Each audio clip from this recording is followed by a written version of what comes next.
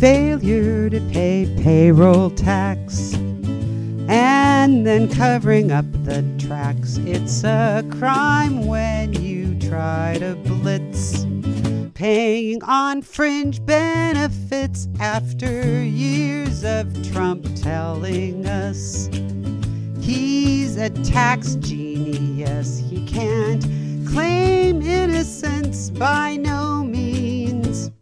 King of the tax code it was more than a company car. This whole scheme ran pretty far. Big apartments, expensive schools.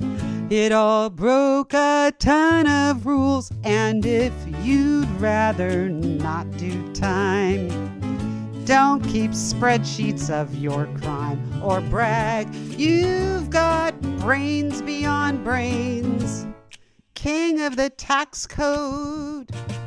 Leona Helmsley used to say, only little people pay. Trump said she deserved her prison cell.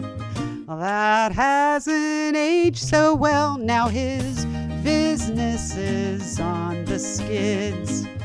Wonder if they'll flip his kids. They each deserve what's coming to them as things implode. Trump will claim he barely knew them. Oi, what a toad! Like Al Capone, tax frauds, what will undo them? the tax code.